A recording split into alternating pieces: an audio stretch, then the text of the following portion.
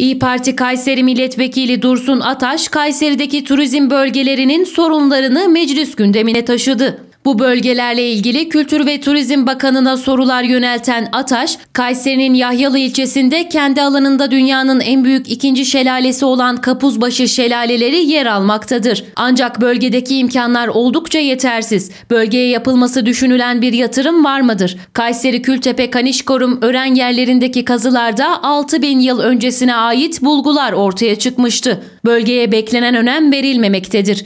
Kazı çalışmalarının hızlandırılması ve bölgenin turizme kazandırılmasına dönük bir çalışmanız var mıdır diye sordu.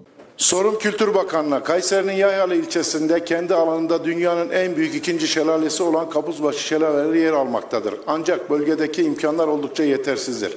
Bölgeye yapılması düşünülen bir yatırım var mıdır? Kayseri Kültepe Kanişkarım Ören yerindeki kazılarda 6000 yıl öncesine ait bulgular ortaya çıkmıştır. Bölgeye beklenen önem verilmemektedir. Kazı çalışmalarının hızlandırılması ve bölgenin turizme kazandırılmasına dönük bir çalışmanız var mıdır? Kayseri'nin sembolü Erciyes Dağı sadece kış aylarında kullanılmaktadır. Halbuki Erciyes Dağı e, doğal güzelliği eteklerinde bulunan Kapadokya ve doğal sazlıklarıyla ziyaretçileri büyülemektedir.